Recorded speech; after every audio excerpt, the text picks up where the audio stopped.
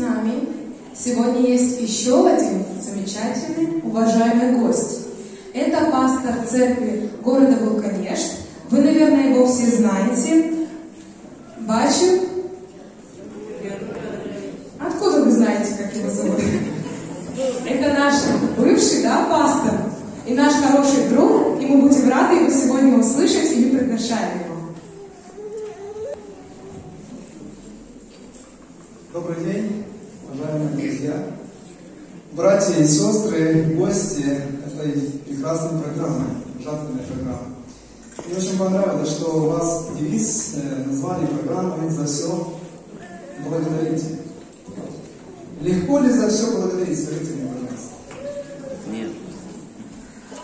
Легко или нет?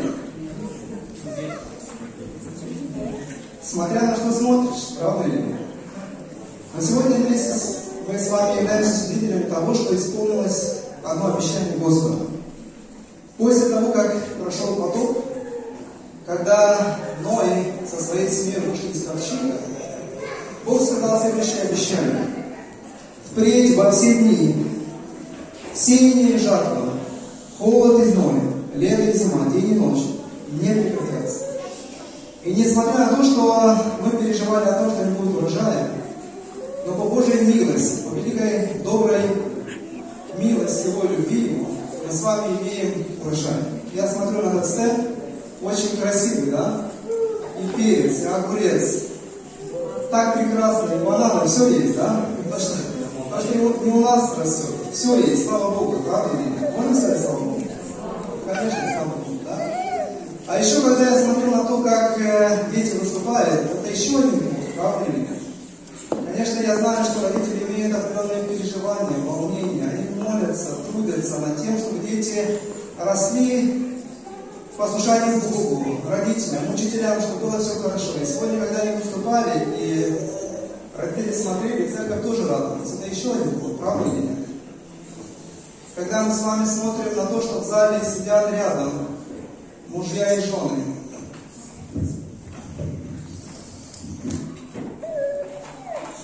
Это еще один плод благословения Господа. Потому что Бог сказал о том, что нехорошо человеку одному, и Бог дал повеление, чтобы человек рождал себе подобных. И это тоже обильное Божье благословение. Но есть еще один плод, который постоянно ищет в нас Господь Иисус. Ищет или нет? Как вы думаете? Конечно, ищет. Написано о том, что в Евангелии от Матфея, когда мы читаем 21 главу, написано следующее, что Христос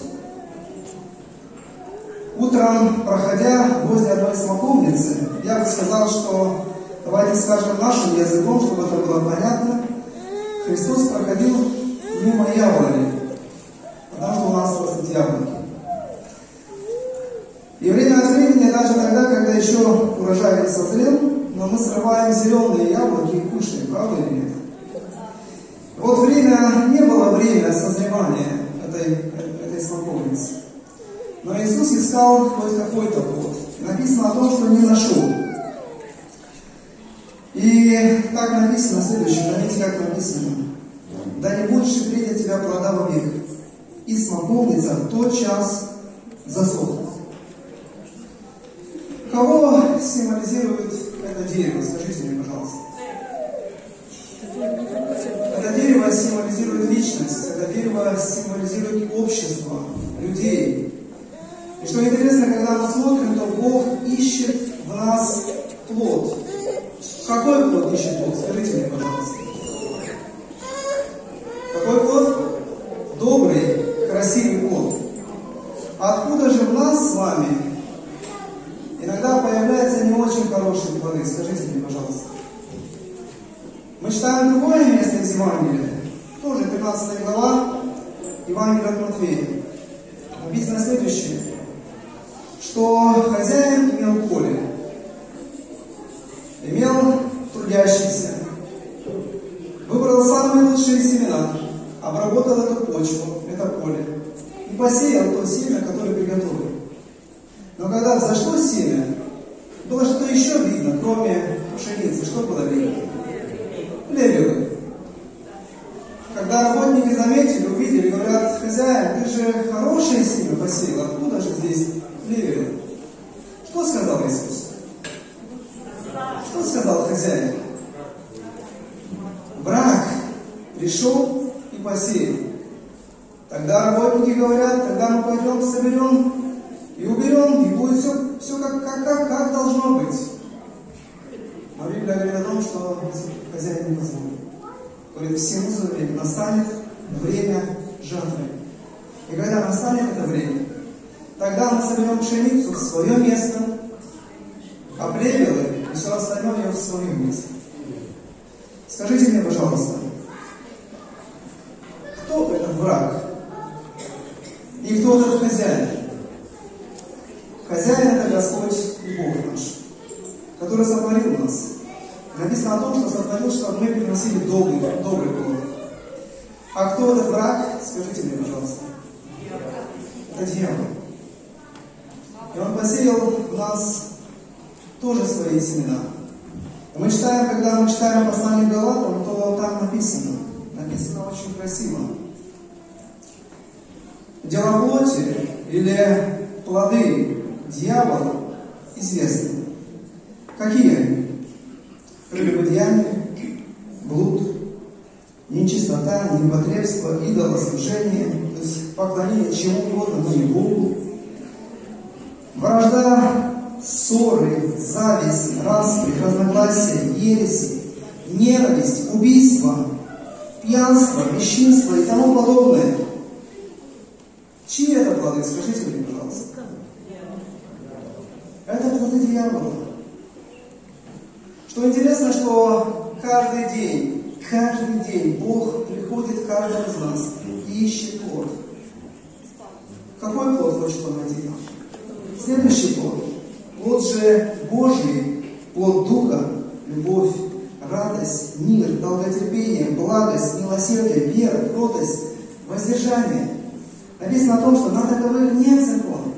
Почему? Потому что они имеют какой плод? Чей имеют? Божий. Божий плод. Красивый, добрый Божий плод. Скажите мне, пожалуйста, как нам с вами принести этот плод, добрый, красивый плод, чтобы радовался Бог, который нас сотворил, чтобы радовались мы, потому что Бог в нас производит свой плод, и чтобы радовались вокруг люди вокруг нас. Как, скажите мне, пожалуйста. В Евангелии от Иоанна написано следующее. Иисус говорит, в Евангелии от Иоанна, мы читаем 15 главе следующее. Тоже очень красивые слова. Я есть истинная виноградная лоза, и Отец мой виноградарь. Всякая у меня ветвь, не приносящая плода, он отсекает, и всякую приносящую плод очищает, чтобы более принесла плод. Что делает Отец? Он трудится над нами. Если нет плода, что, происходит с нами?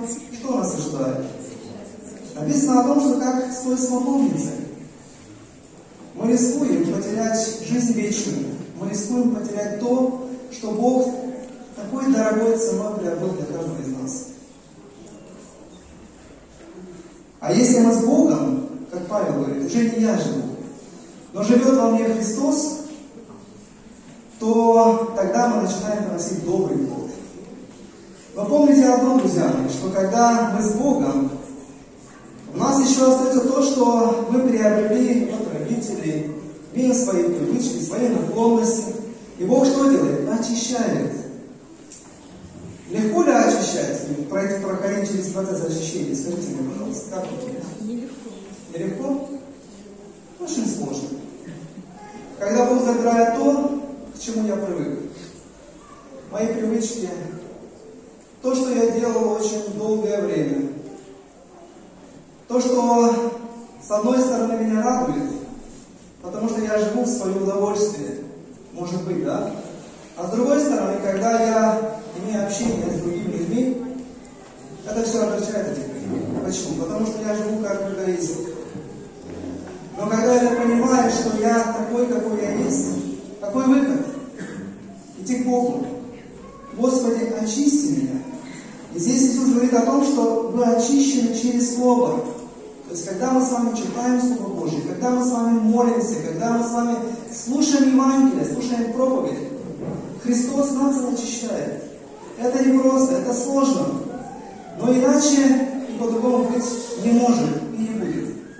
Если мы хотим иметь добрый плод, мы должны постоянно, ежедневно просить Господи, Боже наш, пожалуйста, будь моя жизнь Твоим Духом, чтобы я мог просить добрый плод.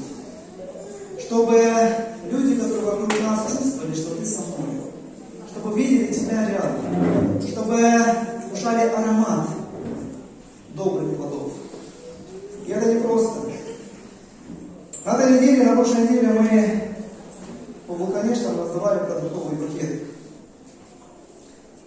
Зашли в один дом, очередной дом. Мужчина лет 50. Ампутированная нога. И когда я с ним заговорил, я спрашиваю его, скажите, пожалуйста, у вас сахар? Он говорит, нет. А что случилось с вами? И так начала чернеть нога, и вот я написал заявление, чтобы меня с колена ампутировали ногу. Но, говорит, э, но врачи подумали, решили, что чуть выше надо, чтобы спасти мою жизнь. Когда мы зашли в этот дом, то слышен был запах курева. Рядом была бутылка с вином. На столе свиное мясо, сало. И я смотрю на него и говорю, знаете, вам нужно от чего-то избавляться, если вы хотите жить. Хотите жить? Конечно, хочу. Вам надо избавляться от курева, потому что это одна из причин, почему у вас ампутировали ногу. Вам нужно избавляться от алкоголя, потому что следующая причина, почему вас ампутировали ногу. Я говорю ему, и вам нужно избавляться от сала, потому что это тоже одна из причин, почему вас ампутировали ногу. Человек говорит, от курева я готов освободиться, потому что я понимаю, что это плохо. От вина тоже, но вот сало. Я это с детства кушаю, мне это очень нравится. Не могу избавиться. Наверное, так и до конца я буду есть. Я смотрю на него и говорю, добрый человек. Вы написали заявление, чтобы у вас ампутировали ногу. Вашу ногу. Если это мешает вам жить, мы уйдем, а вы напишите заявление. Господи, это мне мешает. Это мне мешает жить. Жить и дышать свободно, жить и радоваться жизни. Напишите это заявление и предоставьте это Богу. И пусть Бог избавит вас от того, что мешает вам жить. Уважаемые друзья, все те, которые в этом зале, многих я знаю, со многими совершали служение. Очень приятно видеть вас. Многих я не знаю. Вижу впервые, может быть, вижу последний. Но я знаю одно. Я знаю это не потому, что я такой хороший. Нет, я такой же, как и вы. Не лучше. Но я знаю одно. Что мой Отец является и вашим Отцом. Что мы с вами братья и сестры. Что Бог нас очень сильно любит. Настолько сильно любит, что отдал самое ценное, самое дорогое, Сына Своего ради каждого из нас. И я верю, что Он мечтает о том, чтобы каждый из нас, все те, кто здесь, в этом зале находится, и кого здесь нет, чтобы все были в Царстве Небесном. Это Его мечта, о чем Он думает и мечтает каждый из них. И как бы хотелось, чтобы этой мечтой жили и мы с вами. Хорошей мечтой. Чтобы жить по воле Божьей. Жить приносить добрый плод. Жить, никому не убивая. Жить, не завидуя. Жить, не обкрадывая. Жить, не обманывая. Жить, принося добрый плод любви, радости, настоящей жизни жить. Проявляя милость, долготерпение, имея крепкую веру, держа за Бога до конца, что бы ни случилось. Я верю, когда мы будем жить вот так, когда будем ходить с Ним, молиться Ему, читать Его Слово, держаться этого компаса, настанет тот славный добрый день, когда вернется Господь Иисус на эту землю. И скажет, хорошо, добрый и верный раб. В малом ты был верен, над многим тебя поставил. Войди в радость Господина твоего. Пусть Бог благословит нас на это. И поможет нам в этом чтобы, смотря на нас, чтобы Бог радовался. И мы испытывали радость от того, что ближний наш радуется и счастлив.